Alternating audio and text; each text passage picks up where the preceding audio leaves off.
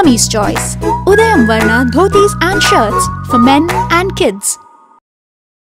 Big boss பொம்மை விளையாட்டு mega size பொம்மை பிரியங்கா பொம்மை விளையாட்டு நேற்றைய பிக்பாஸ் எபிசோடிலும் தொடர்ந்தது. செவ்வாய்க்கிழமை போல அடிதடி இல்லாமல் உத்திகளை கையாண்டு விளையாடியதுதான் நேற்றைய சுவாரஸ்யம். யார் இந்த வீட்டில் சுயபுத்தியோடு செயல்படுவது யார் அப்படி இல்லாமல் செயல்படுவது என்ற ஒரு உள்குத்து டாஸ்கை பிக்பாஸ் தந்தார். இதில் ராஜு பேசியது அமர்க்கலம் மற்றவர்கள் பேசிய அதே விஷயத்தை தான் இவரும் பேசினார். சில விஷயங்களை மற்றவர்களை விட அழுத்தமாக கூட பேசினார். ஆனால் மற்றவர்களுக்கு எழுந்த எதிர்ப்பு இவருக்கு துளி கூட வரவில்லை. மாறாக மக்கள் விழுந்து விழுந்து சிரித்தார்கள். இதுதான் நகைச்சுவையுடன் கூடிய புத்தி கூர்மையின் வலிமை. எத்தனை கசப்பான கருத்துக்களையும் நகைச்சுவை என்னும் இனிப்பு தடவி தந்துவிட முடியும். ராஜு குறிப்பிட்ட விஷயங்கள் அனைத்தும் ஏறத்தாழ உண்மை. அத்தனை துல்லியமான அவதானிப்பு. எபிசோட் முப்பத்து ஒன்பதில் நடந்தது என்ன? மெர்சல் அரசன் பாட்டோடு பொழுது விடிந்தது. கார்டனில் முதல் ஆளாக துள்ளலுடன் ஆட துவங்கிய ஐக்கியை பார்த்தால் ஓவியாவின் நினைவு வருகிறது. ஓவியாவின் பத்து சதவிகித நகலை போல இருக்கிறார் ஐக்கி. ஒவ்வொன்றுக்கும் பெல் அடிச்சு தான் சொல்லணுமா? என்று சலித்துக் கொண்டார் இமான். பெல் அடிப்பதற்கே இவர் இப்படி சலித்துக் கொண்டால் என்றால் பலருக்கும் சர்வ் செய்கிற இசையின் கதியை இவர் நினைத்து பார்க்க வேண்டாமா?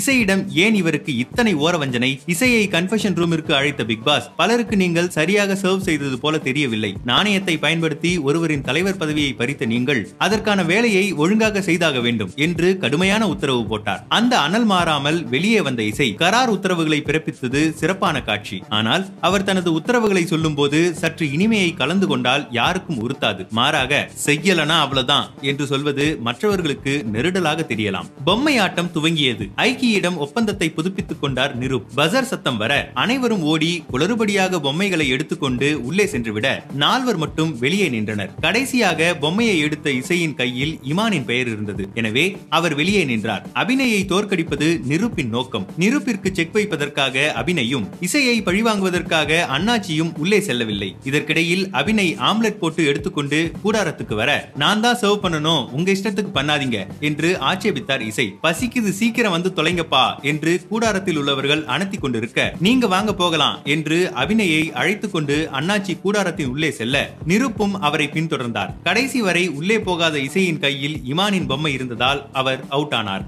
இதற்கான சபை விளக்கத்தின் போது நீதானே என் முதுகல குத்தன? நான் ஜெயிக்க கூடாதுன்னு தானே வெளியில நின்ன? என்று இமான் இசையிடம் கேட்க இருவருக்கும் இடையில் சிறிய முட்டல் ஏற்பட்டது. நான் முதுகல குத்த மாட்டேன். நேராவே குத்துவேன். அபிநய் கையில என் பொம்மை இருந்ததால நான் நின்ன என்றார் இசை. உங்க ரெண்டு பேருக்கும் தான் ஆகாதுன்னு ஊருக்கே தெரியுமேப்பா? என்று பஞ்சாயத்து பெரியவர் மாதிரி ராஜு இதில் தலையிட அண்ணாச்சியை எனக்கு பிடிக்காதுன்னு உங்களுக்கு தெரியுமா? ஏன் தேவையில்லாம பேசுறீங்க? என்று தடுப்பாட்டம் ஆடினார் இசை. எனக்கு ஆதரவா இருந்தவர்கள் ராஜு நிரூப் சிபி. முதுகில் குத்தியவர்கள் அபிநய் சிந்தனை மற்றும் இசை என்று சபை விளக்கம் அளித்து பிரச்சனையை தீர்த்தார் அண்ணாச்சி. அடுத்த சுற்றிற்காக ஓடும்போது பர்த்டே பேபியான பாவனி கால் தடுக்கி கீழே விழுந்தார். பாவனி ஆர்மியில் பலருக்கு இதயம் ஒரு கணம் நின்று பிறகு துடித்திருக்கும். பாவனி கையில் மதுமிதா பொம்மையை வைத்திருந்ததால் மதுமிதா அவுட் ஆனார். மதுமிதாவோ இதை பற்றியெல்லாம் கவலைப்படாமல் நீ நல்லா தானே ஓடின? என்று சிரித்துக் கொண்டே இருந்தார். ரத்த பூமியில் ஒரு எல்கேஜி குழந்தை. என்கிட்ட ஏண்டா எவனும் டீல் போட மாட்டீங்க? என்ன பார்த்தா ஏப்ப சாப்பியா இருக்கா உங்களுக்கு? நல்லா ஓடுவியான்னு எதுக்கு கேக்குறீங்க? என்று நிரூபிடம் மல்லு கட்டி கொண்டிருந்தார் தாமரை.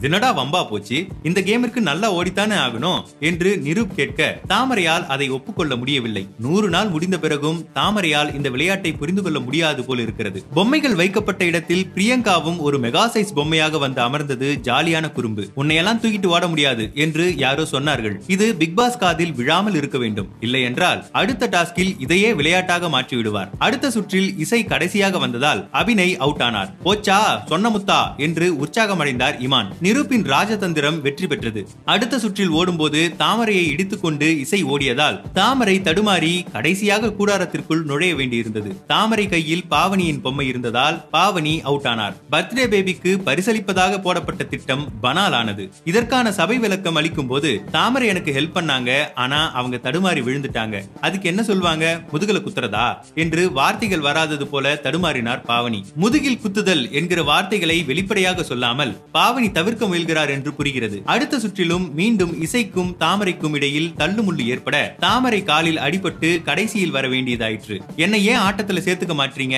என்று ஆதங்கப்பட்ட தாமரைக்கு இப்போதாவது புரிந்திருக்க வேண்டும். மாறாக ஏன் புள்ள தள்ளிட்டு ஓடுன? என்று இசையின் கையில் சுளீர் என்று அடித்தார். ஆனால் தாமரை கடைசியாக வந்ததால் அவுட் ஆனது என்னமோ இசைதான். என்னை யாரும் முதுகில் குத்தல? என்று சபையில் மென்று விழுங்கினார் இசை. பொம்மை டாஸ்கை அந்தரத்தில் அப்படியே நிறுத்திய பிக் பாஸ் இதன் இரண்டு இரண்டாம் பாகத்திற்கு நகர்ந்தார். இந்த வீட்டில் யார் சுயபுத்தியுடன் ஆட்டத்தை ஆடுகிறார்கள் யார் சுயபுத்தியை பயன்படுத்தாமல் மற்றவர்களின் கைப்பாவையாக இருக்கிறார்கள் என்பதை ஒவ்வொருவரும் விளக்க வேண்டுமாம். லிவிங் ஏரியாவில் இந்த உரையாடல் நடைபெற வேண்டுமாம். முதலில் எழுந்த இமான் விளக்கம் அளிக்க துவங்கினார். பிரியங்கா எழுபத்தி ஐந்து சதவிகிதம் சுயபுத்தியுடனும் இருபத்தி ஐந்து சதவிகிதம் மற்றவர்களின் உதவியுடனும் ஆடுகிறார். அக்ஷராவால் பார்ட்னர் இல்லாமல் ஆடவே முடியாது. வருண் ராஜுவை சேர்த்துக் கொள்கிறார். இசை தன் சொந்த மொழியை மட்டுமே பயன்படுத்துகிறார். நிருப் நூறு சதவிகிதம் தன் சொந்த மொழியை மட்டுமே பயன்படுத்த பயன்படுத்தி ஆடுகிறார். ஆனால் திடீரென்று ஏதோ ஆவி அவருக்குள் புகுந்து விடுவதால் குழப்பமாகி விடுகிறது. பாவனியின் கட்டடத்தில் சுருதி என்ற செங்கல் விழுந்து விட்டது. அவரும் மற்றவர்களின் உதவியுடன் தான் ஆடுகிறார் என்று கலவையாக இமான் சொன்னதில் பெரும்பாலும் உண்மைதான் இருந்தது. அடுத்து வந்தார் ராஜு. வீடே ஒரு பெரிய என்டர்டைன்மெண்டிற்காக காத்து கொண்டிருந்தது. ராஜு அவர்களை ஏமாற்றவில்லை. ஒவ்வொரு பொம்மையையும் எடுத்துக்கொண்டு இது எப்படி வேலை செய்யும்னா சார்? என்று விற்பனையாளரை போல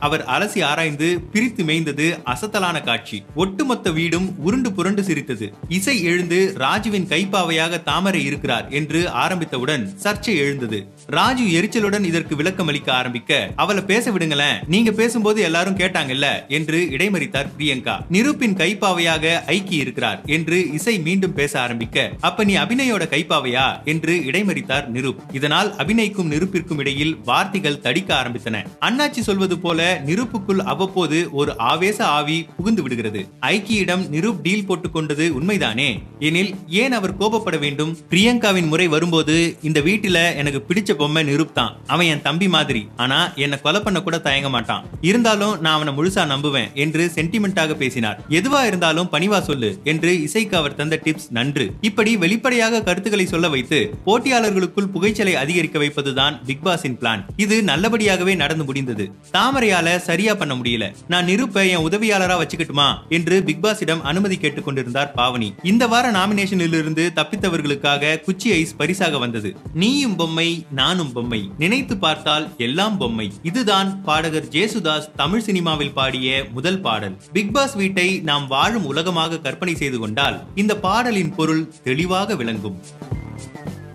Mummy's Choice. Udayam Varna dhotis and shirts for men and kids.